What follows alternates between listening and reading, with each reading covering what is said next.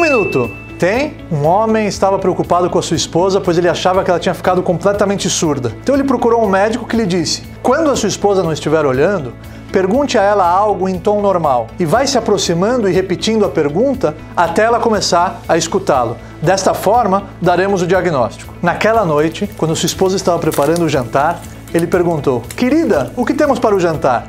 Como não escutou nada, ele se aproximou 5 metros e repetiu a pergunta. Nada ainda. Então ele se aproximou mais 5 metros e perguntou mais uma vez. Silêncio total.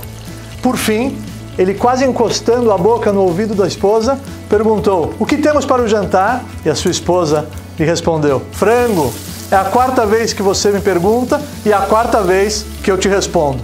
Muitas vezes achamos que o defeito está com os outros, quando na verdade ele está com nós mesmos. Já pensou nisso?